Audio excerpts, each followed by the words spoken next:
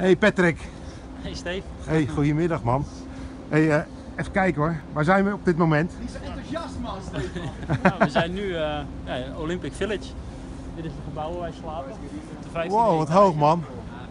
Ja, we slapen op de 15e etage, dus het is een hoog gebouw. Maar eh, boven ons slaapt niemand meer. Want wij hebben het eh, achterste gebouw van het park, dus het is mooi rustig. Oké, gaaf. Hey, en eh, jullie zijn net wezen eten. Ja, Heb je vandaag ook geschaatst?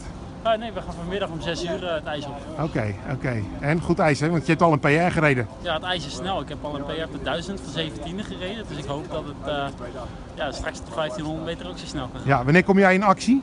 De 13e. De dat is op 13e. een dinsdag. Dinsdag, oké. Met fans uit Lekkerkerk, hoorde ja, ik. Ja, mijn ouders zijn erbij, mijn broertje, mijn zus en nog eh, ja, een heleboel andere fans. al. 12 man hoor. 12 man en vrouw hoorde ik. Ja, ja, het wordt druk. Ja, te gek, leuk. Hey, en hoe is de sfeer in het team? Ja, is goed. Het is gezellig. We hebben met z'n allen één eh, groot appartement, dus dat is alleen maar mooi. Wow, gezellig. En er wordt ook gelachen. Ja, natuurlijk, altijd. Hey, en eh, wow, oh daar staat Kjeld. hey, wow, maar wat een complex zeg hij. Het is echt eh, enorm.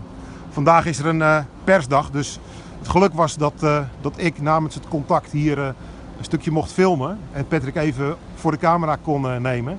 Maar eh, namens alle kijkers eh, in de Krimpende Waard en daarbuiten, Ben je nou Patrick aan het interviewen? heel veel succes hè. Ja, dankjewel.